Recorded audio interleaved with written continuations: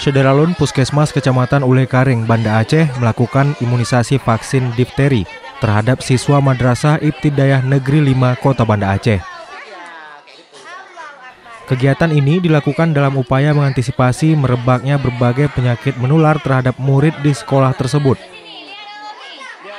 Pihak puskesmas menyebut kegiatan ini merupakan bagian dari program bulan imunisasi anak sekolah yang dilakukan setiap tahunnya pada bulan Juni dan Oktober.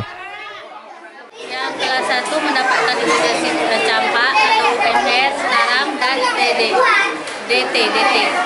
Difteri tetanus. Dan yang kelas 2, kelas 5 TD. Tetanus difteri.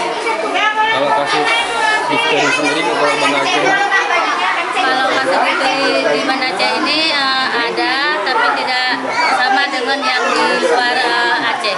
Lebih Vaksin ini diharapkan menjadi benteng bagi kesehatan anak-anak terutama dalam upaya mengatasi penyakit menular seperti difteri, campak, dan tetanus. Dari Banda Aceh, Henry Serambi on TV.